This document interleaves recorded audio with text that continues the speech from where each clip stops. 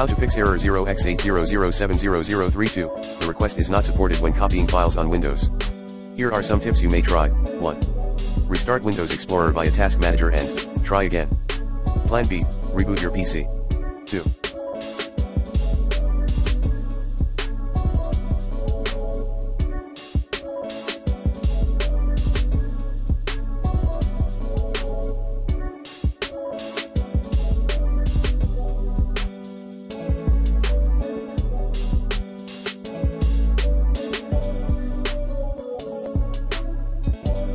Close all processes of the app.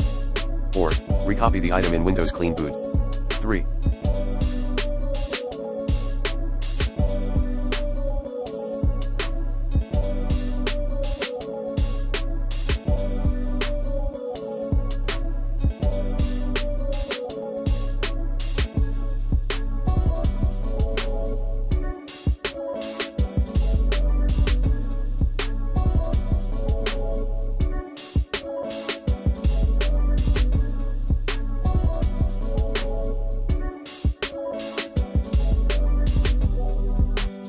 Ensure the source and destination folders are not deleted. 4.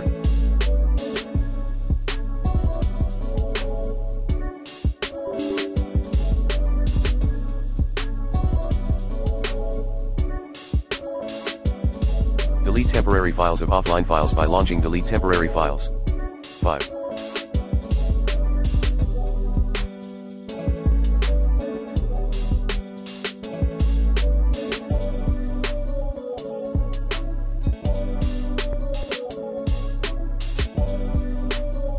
Disable offline files.